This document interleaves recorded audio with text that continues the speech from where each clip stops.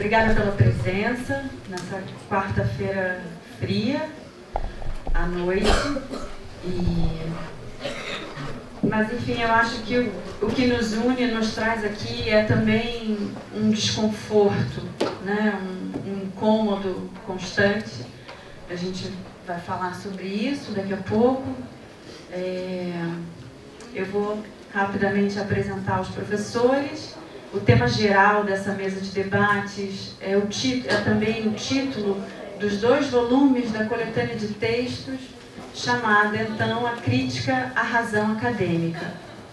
E eu acho que, em grande medida, o nosso desconforto é, tem a ver com essa, com essa racionalidade né, que vem cada vez anexando mais espaços a, a uma dimensão de mercado e espaços esses que antes eram projetados como espaços de resistência. Então, eu acho que a nossa nosso descontentamento tem a ver com isso também.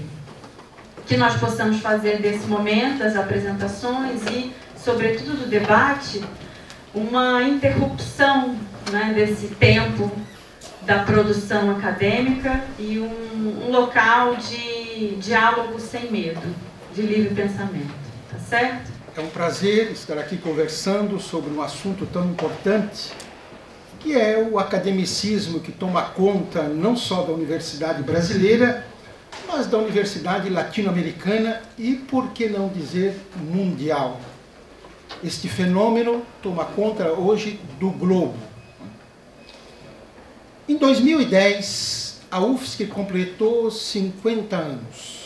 Uma jovem universidade, se compararmos com as universidades latino-americanas, que já tem lá quase 500 anos. Pois bem, quando ela completou 50 anos, se escreveu um livro que se chamou Trajetórias e Desafios. Foi um livro laudatório tecendo louvas à UFSC. Como aqueles livros que as empresas fazem e quando alguém visita a empresa, recebe de presente. Isso me incomodou muito.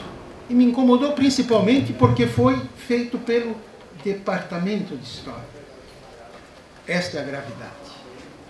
O Departamento de História da UFSC que faz um livro laudatório sobre a UFSC.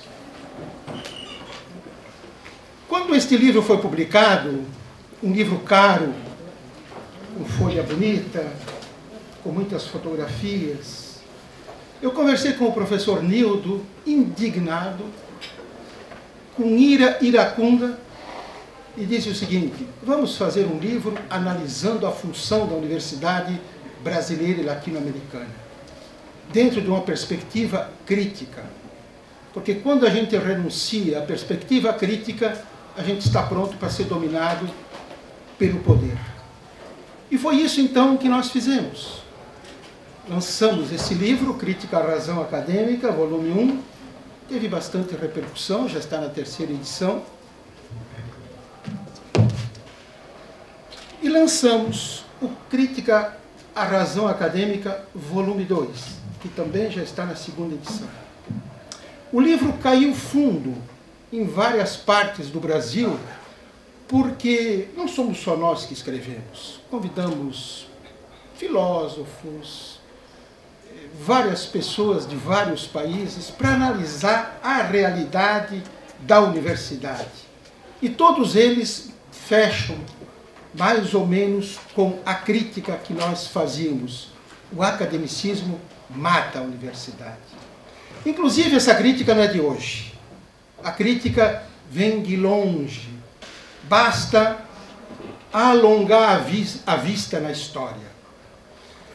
Talvez o primeiro a fazer uma dura crítica à universidade foi José Martí, o cubano, no final do século XIX.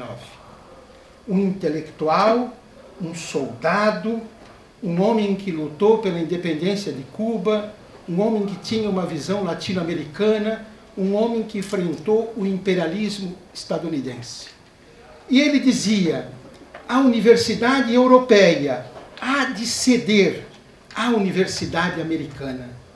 E quando ele falava em universidade americana, ele estava se referindo à universidade latino-americana. Por que, que ele dizia isso? Porque ele via o eurocentrismo como uma ideologia que já tomava conta da América Latina. E aqui nós imitávamos o que a Europa fazia, principalmente no pensamento que era colonizador. Tanto é que ele vai até criticar os cursos de história, sem citar curso de história, mas vai fazer uma dura crítica aos cursos de história da América Latina naquela conjuntura. Por quê? Ele vai dizer: olha, nós estudamos a história dos outros e não estudamos a nossa. E quem faz isso é sempre alguém que vai comer pela mão dos outros. Ele chega a dizer a seguinte frase: a história da América, dos Incas até aqui, final do século XIX, terá que ser ensinada nos mínimos detalhes, ainda que não se ensine a história dos arcontes da Grécia. Fazendo uma crítica aos cursos de história como o nosso, que estuda a Europa nos mínimos detalhes e não conhece a América. Tanto é que nós temos aqui duas Américas. Em Cuba tem seis. No México, só para estudar a Mesoamérica, antes da chegada do Hernán Cortés, tem Mesoamérica 1, 2, 3, 4. E aí começa a estudar Hernán Cortés. Veja o que é um curso eurocêntrico, aquele que estuda os outros. Até Jânio Quadros, numa, na revista Ciência Política, escreveu um artigo em 1960 dizendo: Nós brasileiros, as nossas origens não estão na, na Europa, estão na África. Moçambique, o porto de Angola e Moçambique, não é só para tirar mercadorias, daí veio a nossa cultura. Então veja, essa crítica é de longe. E se nós avançarmos um pouquinho mais, José Carlos Mariátegui vai fazer uma dura crítica, também nos anos 1920, à instrução e à universidade. Sobre a instrução pública no Peru, ele vai dizer: é uma instrução espanhola, e a, não só a influência da Espanha, mas tem a medíocre influência da França e dos Estados Unidos. E claro, ele vai dizer: olha, a nossa educação aqui não dispõe de um espírito nacional, mas sim de um viés colonial e colonizador. E ele vai dar calce, vai ajudar a reforma de Córdoba, que é uma tentativa de dar à Universidade Latino-Americana o seu verdadeiro viés, ele vai fazer com que essa reforma apareça nos escritos dele.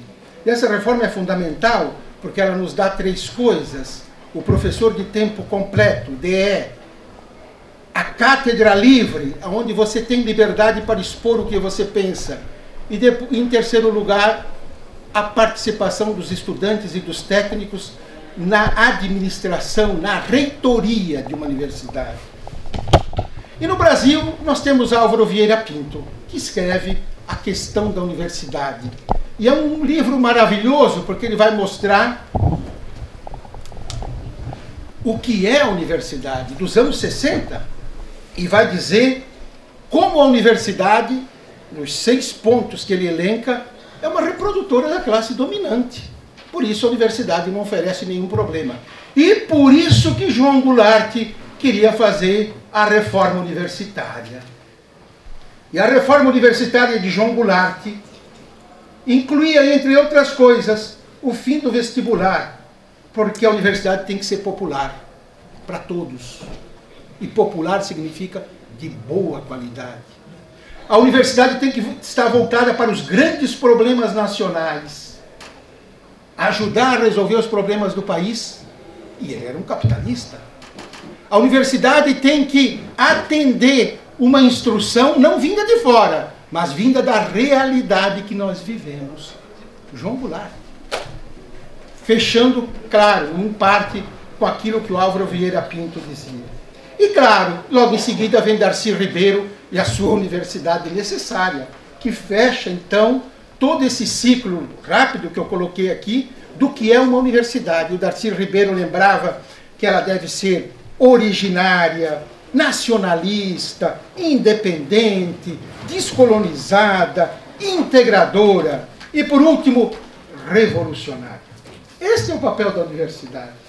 Mas a universidade rejeitou isso, tanto é que a universidade hoje é mais que uma torre de marfim, não está voltada para a sua sociedade, está de costas para a sua sociedade. E, claro, dentro da universidade nós temos então o carreirismo, o academicismo.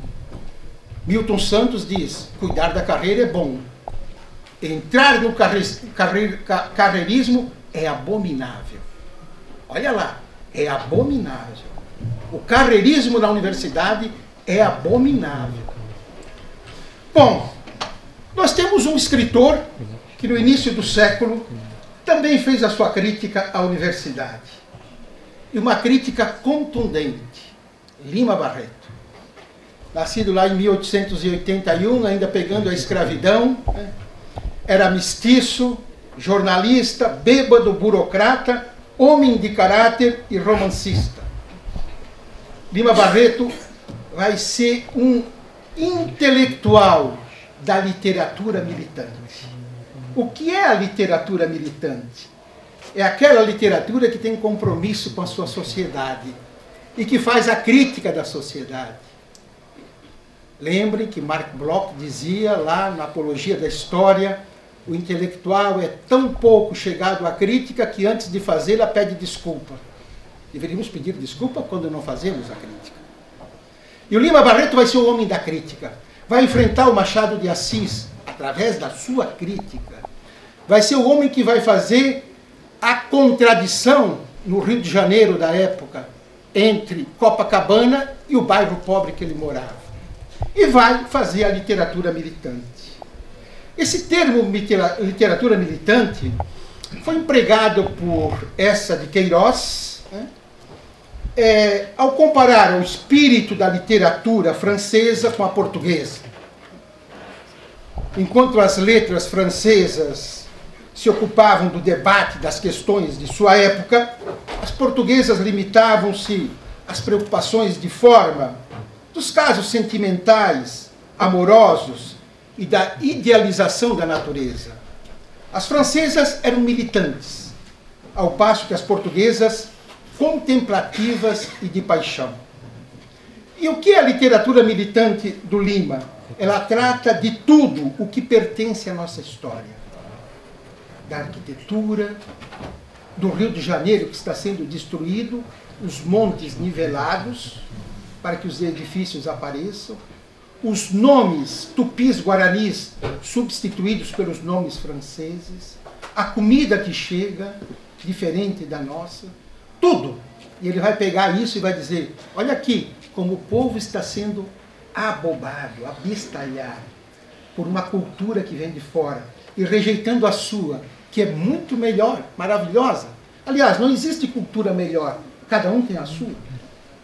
Bom, então essa literatura militante, que vai tratar de tudo aquilo que pertence à história, o Lima Barreto vai afirmar o seguinte: essa literatura tem como objetivo a solidariedade humana, mais do que nenhuma outra coisa, esta literatura interessa para o destino da humanidade. O Francisco de Assis Barbosa, que é um historiador e que vai fazer possivelmente a melhor biografia sobre o Lima Barreto, no, ele vai dizer, olha, no prefácio do Recordações do Escrivão Isaías Caminha, diz ele, rude e implacável é Lima Barreto. Por vezes, não se diga que o romancista não amava a sua pátria, por apontar de forma tão pessoal e tão agressiva as misérias do nosso sistema de vida. É preciso não esquecer que Lima Barreto era um revoltado, em permanente conflito com o meio em que vivia. Essa circunstância, por si só, justifica a posição de combate que ele assumiu contra a mediocridade que graçava e ainda hoje graça, principalmente na burocracia, nas letras e na política. Por isso, o próprio Lima vai dizer, aspas, a literatura é, de alguma forma, um meio de nos revelar uns aos outros. Se não é o seu principal destino, é uma de suas funções normais. E ele continua: a missão da literatura é fazer comunicar umas almas com as outras, é dar-lhes um mais perfeito entendimento entre elas, é ligá-las mais fortemente, reforçando desse modo a solidariedade humana, tornando os homens mais capazes para a conquista do planeta e se entenderem melhor no único intuito da sua felicidade. E é isso que ele vai fazer nos 17 volumes que ele vai publicar. E que, claro, vão ser sempre marginalizados. Agora é que ele começa a aparecer, Flip, em outros lugares. Mas oficialmente era o bêbado, era o mestiço, era aquele que ficava escondido na periferia do rio. É aquele que, quando morreu, e ele saiu, saiu o féretro, as tabernas foram se fechando, os bêbados foram saindo, e uma multidão foi acompanhando. Isso significava que muita gente tomava para aqui no Rio de Janeiro, que era a bebida da época. Né? Bom, aí o Lima vai concluir, quando fala da literatura, dizer o seguinte: olha a frase dele. O literato deve ser um semeador de ideias e um batedor do futuro. Um semeador de ideias e um batedor do futuro. E claro, ele vai fazer uma crítica devastadora aos escritores, obviamente, que não se comportam desta maneira, como Coelho Neto, né? que é alguém que está na política, é um bajulador, é alguém que de, que fala do teatro municipal e ele vai dizer, o Lima Barreto, quem frequenta o teatro municipal? Quem tem boa roupa, quem tem uma carruagem ou um carro, quem paga a entrada. A periferia não entra no teatro municipal. E ele defendia nas, para Rio de Janeiro, você que é carioca, que não se tivesse um teatro nacional, mas que se tivesse teatros de bairros, aonde predominasse é, o teatro indígena e não a, ópera europeia. Veja o pensamento do escritor. Bom, o Lima, como eu disse, ele mora na Vila Quilombo, olha o nome, e essa expressão foi utilizada por ele para designar sua casa, situada no subúrbio carioca de Todos os Santos. Ele justificava essa expressão para enfesar Copacabana. Lima escreve sobre o rio da pobreza, da miséria, das desigualdades sociais e da exclusão. O historiador Francisco de Assis Barbosa diz o seguinte: não será possível proceder-se à revisão de nossa história republicana, trabalho que tanto se impõe, sem recorrer aos romances, contos, crônicas e artigos de Lima Barreto. Portanto, aqui tem muita gente que estuda história. Se a gente quiser estudar a República Velha, não se diz República Velha, para bom moço tem que ser Primeira República, né? Mas é velha assim. Se alguém quiser estudar a República Velha, é importante ler Lima Barreto, Bruce Undangas e a obra dele. A gente aprende mais às vezes do que com livros de história, que às vezes são chatos. O Lima é maravilhoso. Bom, Nesse ponto, eu comparo o Lima com o Michelet. Lá no meados do século XIX, o Michelet, na França, ele vai dizer o seguinte, e nada contra a França, pelo contrário, o Michelet é gente boa, ele vai dizer o seguinte, olha... Apesar de francês? Né? Apesar de francês. Eu faço história, diz lá o Michelet, ele faz história para dar voz e vez a todos os que sofreram, trabalharam, definharam e morreram sem ter a possibilidade de descrever os seus sofrimentos. Uau! Isso é o Michelet. O que que o Lima Barreto vai dizer? Se me esforço por fazê-lo literário, é para que ele possa ser lido, para que eu possa ser lido, pois quero falar das minhas dores e dos meus sofrimentos ao espírito geral e no seu interesse, com a linguagem acessível a ele, E este é o meu propósito, o meu único propósito. Tanto é que quando Lima Barreto está sendo velado na sua casa, lá na Vila Quilombo, chega um senhor que ninguém conhecia, arrancou umas flores pelo caminho, chega no velório, deposita aquelas flores no caixão e dá um beijo na testa do Lima. E a família disse, uau, quem é esse cara? Quando ele se retirou um pouco, a família chamou ele e perguntou quem ele era. Era um bêbado também, bebia, seguramente companheiro do Lima Barreto. E o que, que ele disse? Eu li toda a obra do Lima e eu me identifico com ele, porque ele conta a história dos desgraçados da humanidade. Por isso eu me identifico com ele. Veja o que, que é o escritor identificado com o povo, com a ralé, com os de baixo. Bom, o Lima então pega duro no academicismo do período que ele vive. Né? Ele vai dizer, ó, sábio é aquele que cita mais autores estrangeiros. Quanto mais de país desconhecido, mais sábio o é. Sábio é aquele que escreve livros com a opinião dos outros. Eu li há tempos atrás uma tese e no final de cada parágrafo tinha uma citação, uma uma nota de pé de página. Quando eu terminei de ler a tese, afinal de contas, essa tese é do doutorando ou é dos outros? Nós perdemos a capacidade de ter voo teórico próprio, de pensar com a nossa cabeça, e passamos a pensar com a cabeça dos outros. E no final de cada parágrafo tem que citar um autor, preferencialmente estrangeiro. Temos que aprender a pensar com a nossa cabeça. José Marti, quem não conhece a sua história nos mínimos detalhes será dominado pelos outros. E aqui citamos os autores, principalmente europeus e estadunidenses. Gente, a universidade tem que estar voltada para os grandes problemas do seu povo. Ela tem que ter um compromisso com o povo.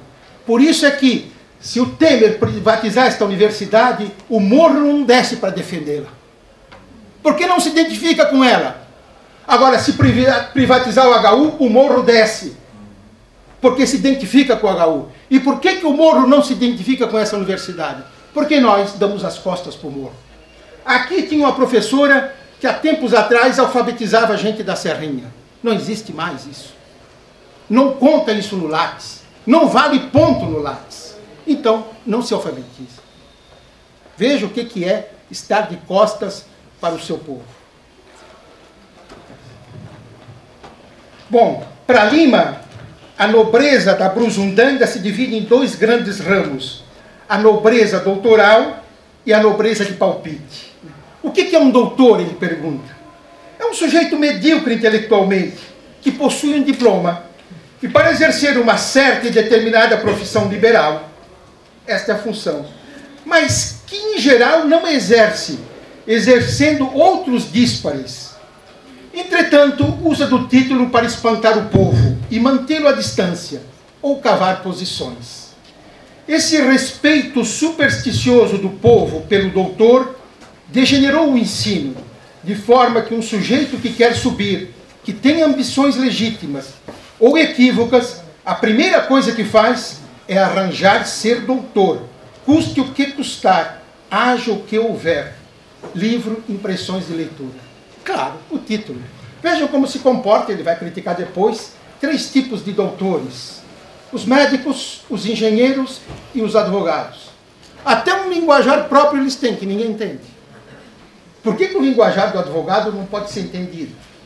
Por que, que o linguajar do médico e do engenheiro não pode ser entendido pela população? Exatamente para preservar os, as suas vantagens, o domínio do idioma, que é um domínio que faz com que eu sei, tu não sabes. E são aqueles que se consideram os doutores, né? porque tem a apropriação da linguagem, que é uma maneira da opressão. A nobreza doutoral, vai dizer o Lima, quem tem o título de doutor dispõe de privilégios especiais, alguns constantes em leis e outros consignados em costumes. O povo aceita esse estado de coisas e tem um respeito religioso pela nobreza de seus doutores. As moças ricas, diz ele, buscam casar-se com um doutor E as pobres, quando logram, enchem de orgulho a família. A formatura de um doutor é dispendiosa.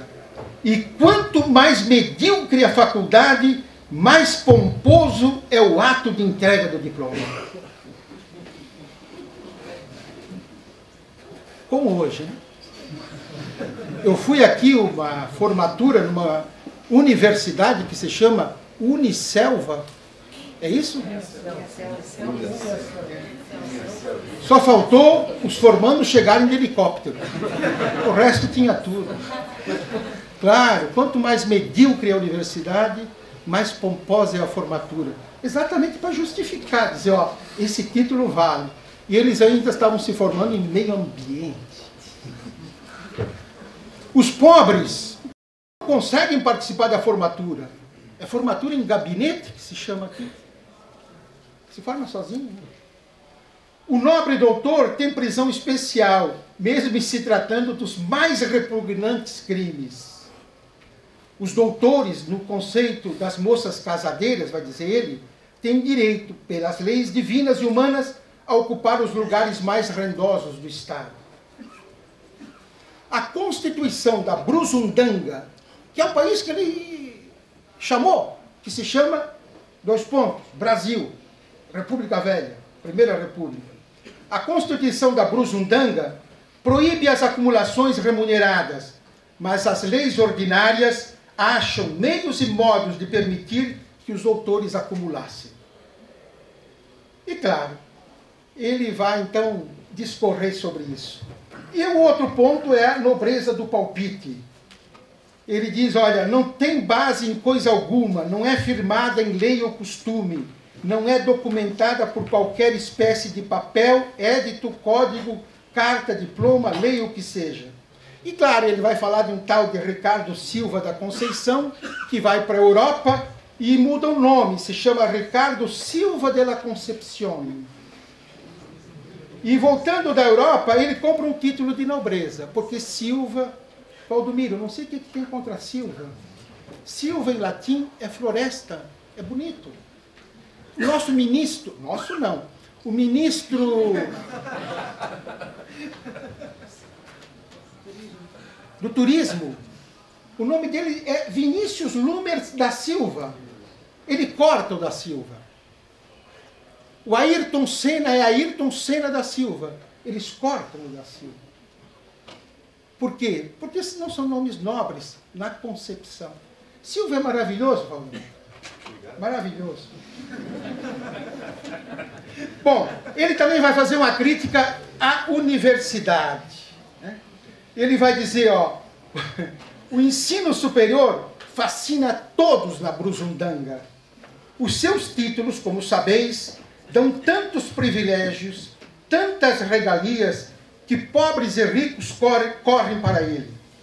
Mas são só três espécies que suscitam esse entusiasmo: o médico, o advogado e o engenheiro. Diz ele, aspas, o ensino primário tem inúmeros defeitos, o secundário, maiores, mas o superior, sendo menos útil e o mais aparatoso, tem o defeito, o defeito essencial de criar ignorantes com privilégios marcados em lei, o que não acontece com os dois outros. E claro, ele vai dizer, busca-se a universidade a fim de conseguir uma boa colocação no mandarinato nacional, ficando cercado de um ingênuo respeito com que o povo cerca o doutor. E claro, é a criação da doutomania. Né? A doutomania.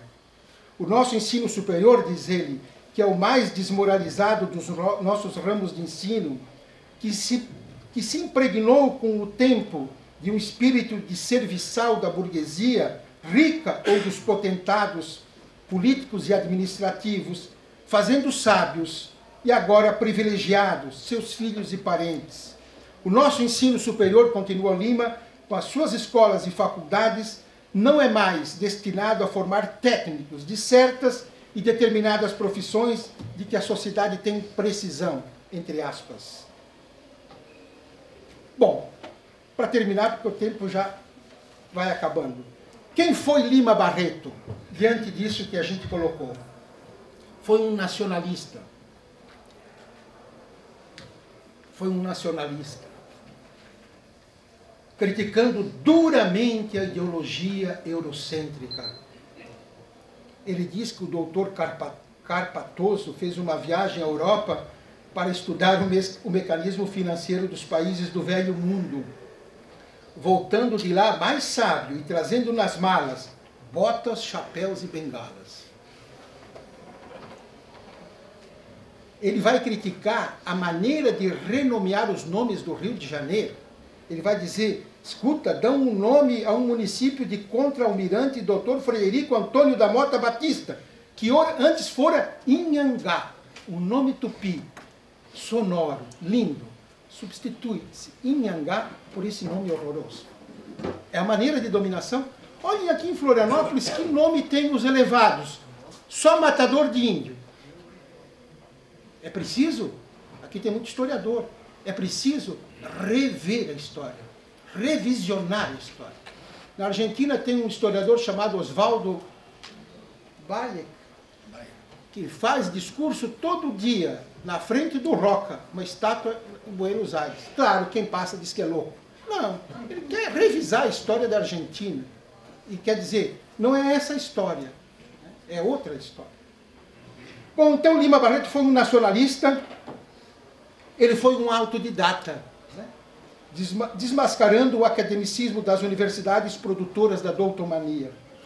Ele foi um defensor da igualdade entre homens e mulheres, rejeitando o feminino, o feminismo pequeno burguês de Berta Lutz, que buscava direitos políticos para as mulheres, sem confrontar o patriarcado e o capitalismo como sistema de exploração e opressão das mulheres. O Lima Barreto daria de chicote muita gente hoje aqui no CFH, dizendo o seguinte: não se supera esse problema enquanto não se enfrenta o sistema capitalista que é aí que está a origem das desigualdades. O que fizermos e não atacarmos o sistema será apenas esparadrapo em cima da ferida. O Lima Barreto ataca a Berta Lutz, que muita gente adora, feminismo pequeno burguês.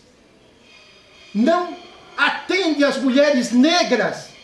E ele era negro, mestiço, vivia na periferia. Falava de carteirinha da realidade das mulheres negras é um militante da causa negra, com uma espada afiada contra o preconceito, como, por exemplo, o do Barão do Rio Branco, que, na condição de ministro de Relações Exteriores, queria o verbo que ele usa, eleganciar o Brasil. Eleganciar o Brasil. E aí o Lima vai dizer aquela famosa frase dele: é triste não ser branco. É triste não ser branco. Essa frase é revolucionária. O Lima Barreto é um crítico contumaz do monopólio da imprensa, mais especificamente do jornal O Globo, que não é o Globo do Roberto Marinho, que não existia, é um jornal ficção que ele criou, que depois se realizou é um crítico quanto mais do Globo, como também dos políticos de profissão. Um combatente do latifúndio, propagando a necessidade da reforma agrária, indispensável ao desenvolvimento da economia nacional. Um defensor do aborto, que no Brasil ainda não foi aprovado, seguramente influência da Revolução Russa, que ele falava dela, acompanhava, e vocês sabem que o aborto se tornou legal no mundo em 1917, na Revolução Russa, quando os bolcheviques disseram homens e mulheres iguais em tudo: salário, trabalho doméstico e a mulher tendo o direito do amor livre, quer dizer, faz amor com quem quer, não é obrigado por ninguém. E ela é dona do corpo e pode fazer o aborto no hospital da rede pública. Lá se criou o Zenodel, o primeiro ministério, talvez, do mundo, exatamente para tratar da igualdade igualdade não no ver, na palavra, mas na realidade entre homem e mulher. E o Lima Barreto vai defender o aborto. Um radical com simpatias pela Revolução Francesa e Russa. Infelizmente, ele não acompanhou a Revolução Mexicana. Ele não tinha contato com o resto da América Latina, a não ser com Buenos Aires, e duas vezes ele fala do México e do Porfírio Dias. Enfim, o que, que o Lima é? Um socialista propagador da, propagador da luta de classes que apoia as primeiras greves operárias. Um anti-imperialista que afirma que o Brasil não passava de um disfarçado protetorado dos Estados Unidos, mostrando admiração pelo livro do Eduardo Prado, A Ilusão Americana. Um simpatizante do marxismo que elogia os acontecimentos russos de 1917, um anticlerical que mostra a dominação ideológica dos conventos, bem como o papel das freiras na educação de gente rica. Um anarquista que afronta a organização social. Tudo isso ao mesmo tempo. Por isso a frase dele: ó, oh, a sociedade repousa sobre a resignação dos humildes. E agora sim, concluindo, eu diria que encarta a em uma carta em resposta ao austragésilo de Ataíde, Lima diz o seguinte: Olha lá. Gostei que o Senhor me separasse de Machado de Assis. Não lhe negando os méritos de grande escritor, Machado de Assis. Sempre achei no Machado muita secura de alma muita falta de simpatia, falta de entusiasmos generosos, uma porção de cestos pueris. Jamais o imitei e jamais me, me inspirou. Que me falem de Maupassant, de Dickens, de Sweet, de Balzac, de Dudé, vá lá, mas de Machado, nunca. Obrigado.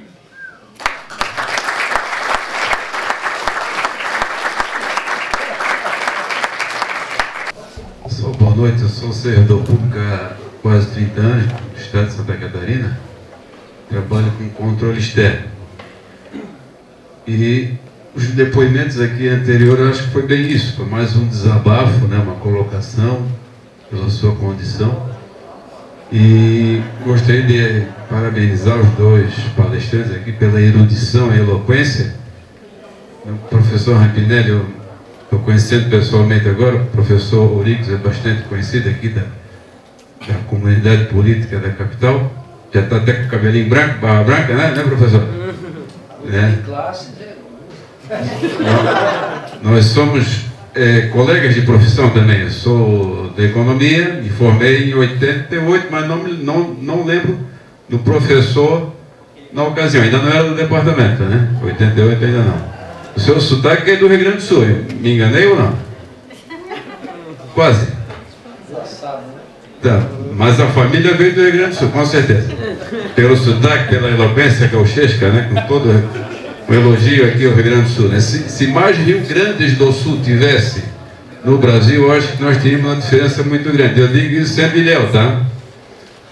É, queria, já que houve um, alguns é, desabafos aqui, gostaria de colocar pela minha experiência. O professor Aurico pode até reforçar o que eu coloco aqui. Final do ano de 2016, foi isso? Houve aquela reforma do teto dos gastos, 16, né? Reforma do teto dos gastos, a austeridade fiscal, aquela emergência toda, um governo que tirou outro, embora dormissem na mesma cama até ontem, né? Só que um caiu da cama primeiro. E depois foi se ver que o que ficou era uma podridão total. Senhores, é, na ocasião que foi aprovada a dita emenda constitucional, é, pela emergência fiscal do, do país, né, que não saiu, né? Aí o desemprego aí para provar o contrário. O que nós tínhamos, nós tínhamos ali? 49% dos recursos da União na mão dos banqueiros. E, e o limite de gastos colocado na Constituição é só para o gasto social, saúde, educação, transporte, máquina, certo? Não é para o gasto financeiro. Ou seja, nós não somos governados pelos políticos que mal nos representam. Esses são quem? Intermediários dos banqueiros nacionais e principalmente internacionais, empregados de luxo deles, ou, na melhor das hipóteses, um sócio minoritário desses camaradas. Né? Então, esse, esse é o povo que nos. Essa é a elite que realmente nos governa. Que hoje estão batendo cabeça, né? Quem, será o representante deles? A esquerda ou a direita? Quem será? Né? Mesmo no período da, da esquerda no governo, os bancos lucraram assustadoramente. Né? Eu lembro, na minha conclusão de curso de Direito, eu falei do empréstimo bancário. E tínhamos na Constituição de 88, chamada de cidadã, né? se é que ela merecia esse título, é, o limite de juros de 12%. E se lutava muito até então de disciplinar esse limite, né? E o que eu defendi lá no meu trabalho? Que aquilo ali fosse um, uma diferença entre o que se captava e o que se cobrava, né? O que aconteceu? Aquilo saiu da Constituição, porque nunca foi aplicado, nunca foi lutado para que aquilo ali acontecesse. Só para concluir, gente. É, aqueles 49% dos recursos da União, que também isso é um quantitativo bastante significativo para estados e municípios, e vai virar 52, 53, 54 nos próximos anos. Então vai ter menos recursos, inclusive, professores, para ciência e tecnologia, para as universidades, para, para espaços como esses aqui, nós estamos vendo. Eu acho ótimo essa, essa consciência, esse debate, e tem que se ampliar cada vez mais. Muito obrigado. Bom, eu vou fazer breves comentários, tentando, a partir das questões, dar alguma resposta. Se for resposta. Suzane, o que você coloca é uma realidade aqui da nossa universidade. O aluno não é a questão central, nem no departamento, nem na pós-graduação. Tanto é que não é central que o autoritarismo dos professores, quando apresenta os programas, diz o seguinte: este é o meu programa, eu não aceito que ninguém dê sugestão. Por quê? Porque o professor se julga como aquele que sabe, sabe mais, sabe tudo, e o aluno está aí apenas para aprender. Tanto é verdade que isso que o Nildo chama de bom mocismo acaba imediatamente entre alunos e professores quando vocês, alunos, querem discutir o currículo do curso. Porque os professores vêm com o discurso, eu sei o que é bom para vocês. São professores ignorantes, porque ele já está na universidade, uma profissão garantida. São vocês que vão para o mercado, são vocês que sabem o que é importante são vocês que, inclusive, já estão no mercado e estão vendo que a dura realidade do mercado não é o professor que vive quase que numa torre de marfim. Portanto, de pleno acordo com isso que você coloca, o que fazer? A meu juízo, não tem outro caminho a não ser rebelar-se. A rebelião. O que, que é rebelar-se? Diz lá o Henrique Dúcio: levantar-se com entusiasmo. Palavra grega que quer dizer ter os deuses por dentro. E quem tem Deus por dentro, ou os deuses por dentro, se levanta com força. E a rebelião pode se transformar em muitas coisas na, na vida dos países, inclusive em revolução. Os alunos têm que se rebelar. Não tem outro caminho. Não tem outro caminho. Tanto é que, é, veja a, a, a vergonha, e eu coloco isso no Crítica Razão Acadêmica, volume 1, quando termino o meu artigo. Um dos pontos, como é que os alunos são representados nos colegiados? Sempre em minoria. Os técnicos, em minoria. O que, que eu defendo lá? Que em todos os colegiados, técnicos, estudantes e professores, tenham o mesmo número. E aí se discute, obviamente, em pé de igualdade. Não é o que ocorre no colegiado. Inclusive, te digo mais, os professores, às vezes, de maneira mafiosa, se, se combinam como vão votar, às vezes, quando há uma questão de alunos querendo, num colegiado, fazer uma certa discussão. O espírito de corpo predomina e mata o aluno. E o professor, ao mesmo tempo, é, é, de maneira vergonhosa, diz: olha, isso aqui é democrático, porque estamos discutindo, estamos votando, mas é minoria, o aluno nunca ganha, o técnico nunca ganha, é o professor que se impõe. Portanto, não tem outro caminho, a rebelião. E quanto mais gente se rebelar, melhor é. O Nildo falava de filosofia, aqui conta o caso no livro, uma, uma estudante questionou no curso de filosofia por que, que não havia uma disciplina, pelo menos optativa, sobre filosofia latino-americana. Foi ao coordenador de curso. O coordenador de curso respondeu: não há interesse. Ela passou em duas salas de aula, 32 alunos assinaram a lista, querendo um tópico especial, filosofia latino-americana. E temos filósofos aos montes na América Latina. E, tão e muito mais importantes que alguns filósofos que são estudados. Cito um exemplo: Bolívar Echeverria. Um ilustre desconhecido. O que, que aconteceu? Voltou ao coordenador de curso, entregou a lista. Ele disse o seguinte: não temos professor para dar essa disciplina e ao mesmo tempo boicota, não abre um concurso para professor de filosofia latino-americana. É assim que se comportam os departamentos. No livro Crítica Acadêmica, Crítica à Razão Acadêmica, volume 2, tem um artigo do Gilberto Vasconcelos. Ele mostra a miséria dos departamentos, aonde não se tem amigos, se tem muitas vezes comparsas para definir determinadas políticas dentro do departamento. Então, esse é o que eu vejo. E claro, temos que aproveitar também os espaços que surgem.